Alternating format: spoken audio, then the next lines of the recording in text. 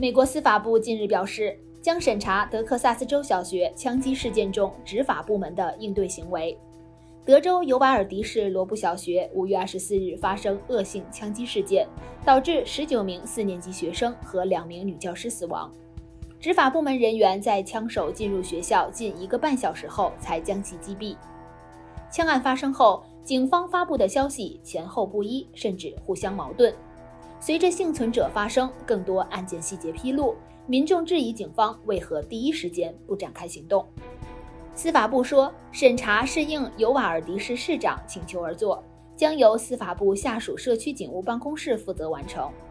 审查目的在于就当日执法行动拿出一份独立报告，从而总结经验教训和最佳做法，帮助应急人员更好地为活跃枪手事件做准备并作出反应。审查将以公平、公正、独立方式进行，并公布审查结果。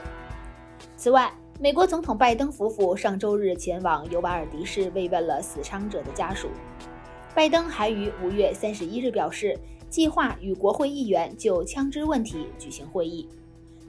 而根据美国枪支暴力档案馆三十一日发布的统计数据显示，在为期三天的阵亡将士纪念日假期期间，美国共发生了十四起大规模枪击事件，导致九人死亡，六十三人受伤。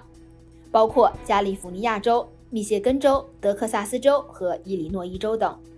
美国枪支暴力档案馆将包含四人及以上受害者的枪击事件归为大规模枪击事件。根据新的节水令，从六月一日开始，洛杉矶市的人们每周只能根据街道地址进行两天的户外浇水。室外浇水限制由目前的每周三天调整为每周两天。周一和周五允许在奇数街道地址浇水，周四和周日在偶数地址浇水。洒水器浇水的时间限制为八分钟，带有节水喷嘴的洒水器将被限制在每个站点十五分钟。所有浇水都必须在晚上或清晨进行，上午九点至下午四点之间不允许在户外浇水，下雨时和下雨后四十八小时内也是禁止的。另外，政府还敦促游泳池的居民使用泳池盖，以减少蒸发的风险，并呼吁人们只在商业洗车设施洗车。洛杉矶市将会增加人手巡逻，以保证限水令顺利执行。如果违反条例，将会先进行教育，但如果需要，将通过罚款和罚单升级。处罚以书面警告开始，然后第二次书面违规，罚款二百美元。第三次书面违规者罚款四百美元，第四次书面违规者罚款六百美元。如果人们顽固不遵守，将会使用流量限制器或进行终止服务。欧盟特别峰会五月三十日和三十一日在布鲁塞尔召开，欧洲理事会主席米歇尔三十日深夜宣布。欧盟成员国领导人当天就对俄罗斯第六轮制裁达成一致，将立即禁止进口百分之七十五的俄罗斯石油，通过管道供应的石油暂时例外。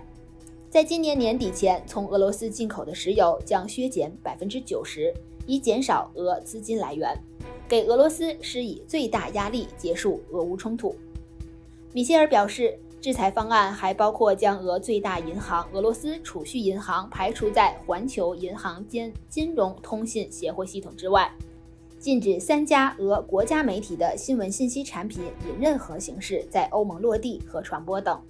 此外，欧盟准备向乌克兰提供九十亿欧元以支持其重建。欧洲理事会将继续与七国集团成员国一起帮助乌克兰满足当前对流动性的需求。